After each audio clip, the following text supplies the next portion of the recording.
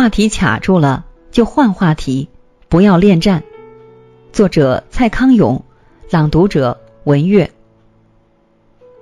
谷谷，你说你是不是带你每一任的女朋友来这里看夜景？小哥，这算是比较惊险的被卡住了。如果在连续剧里，这时小哥应该会有一个脸部特写，配一段晴天霹雳的音效。但平常我们在谈话中卡住时，多半很平淡，就只是刚好没话可以接了而已。小哥，你妈妈身体最近比较好了吗？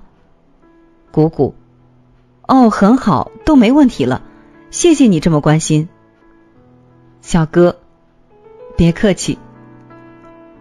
如果姑姑的妈妈住到加护病房了。我想，谷谷就会有很多话要对小哥讲，小哥也就会有很多问题可以问，就不会卡住。但我们当然绝对不应该为了谈话流畅，就任性的把谷谷的妈妈送进加护病房。我们应该靠自己解决问题。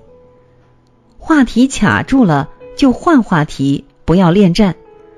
我知道有些话题你起了个头，是希望问出一个结果。或是要告诉对方某件事，但卡住了就是卡住了，暂且丢开就不会手忙脚乱，有机会再绕回来就可以了。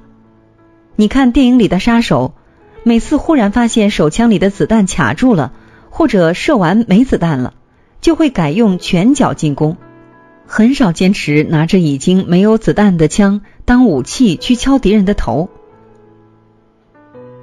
天可怜见。有些人本来防卫心就很强，或者天生是个性冷淡，你再怎么努力找话题跟他讲，他就是淡淡的回答你：“是哦，真的呀。”这些都是会让你卡住的回答。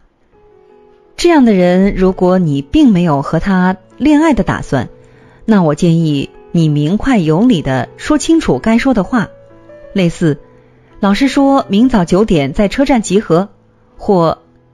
那么很抱歉，这次就不麻烦您了。说完就可以闪了。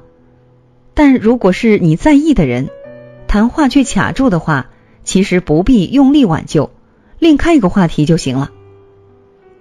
小哥，我昨天租了一部片子，是讲未来世界人的记忆可以被假造的故事。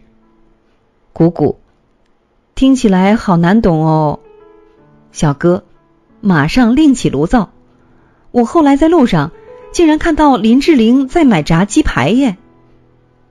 谷谷眼睛一亮，林志玲本人漂不漂亮？如果在相聚的两个小时里面，你有三次让对方开心的笑，那对方应该是绝对不会记得你曾经提过几个无聊的话题的，除非他偷偷按下手机的录音键，回去把整场谈话。根据录音整理成书面文字，如果是这样，其实分手可能比较好。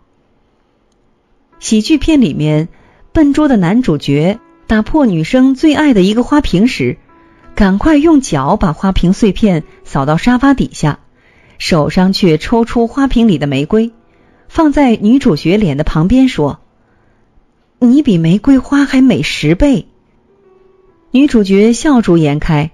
马上置破花瓶于脑后，这个场面某个程度是真的呀。